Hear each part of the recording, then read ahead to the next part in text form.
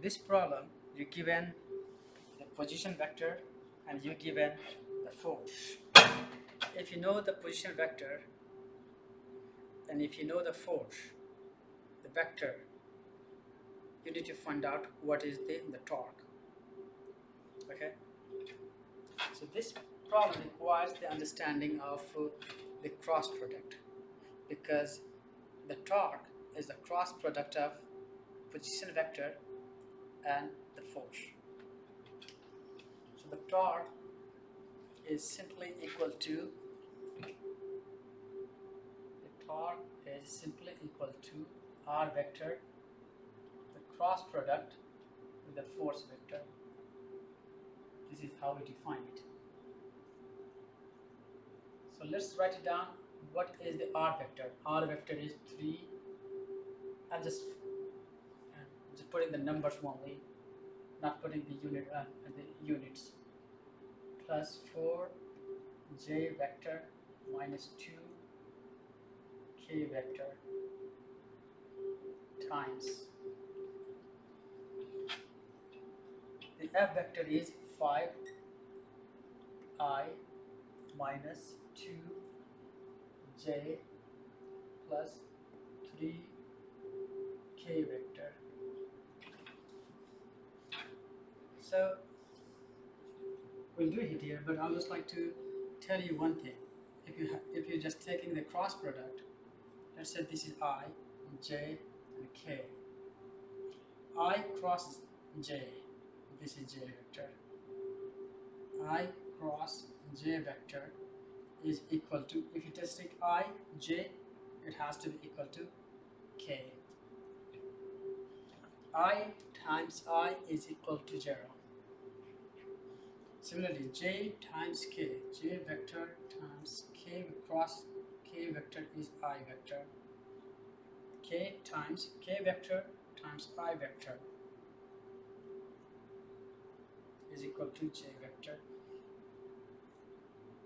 So if you take the, the cross product of i times j, it has to be equal to k vector. This is all the vector. Similarly, k times i is equal to j vector. If you take the opposite, let's say k times j, then it has to be negative i vector. Okay? And the vector, let's say i vector times cross i vector is always equal to 0. Similarly, j vector times j vector is equal to 0. So you just have to multiply with all this condition. But here I'm using the matrix form to calculate the cross product. How do I do that? So i vector, j vector and k vector. First write down all the magnitude, uh, all the numbers here. 3, 4 and negative 2. Then you have 5, negative 2 and 3.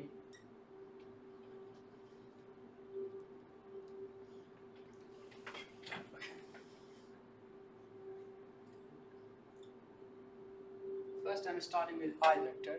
If you just take this i vector, then you have to multiply this way. This vector, this is the first vector, and I'm putting the, and this has to be the negative.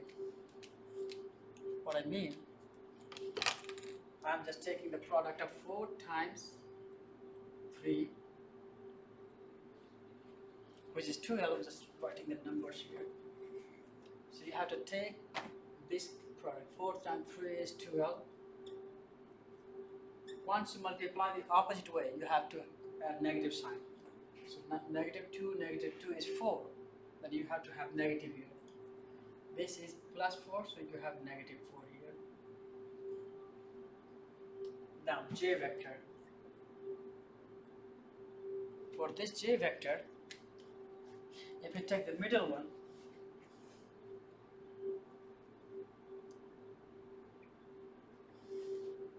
it has to go the opposite. First, you see, I'm just blocking this one. So you need to multiply first this vector and then this vector.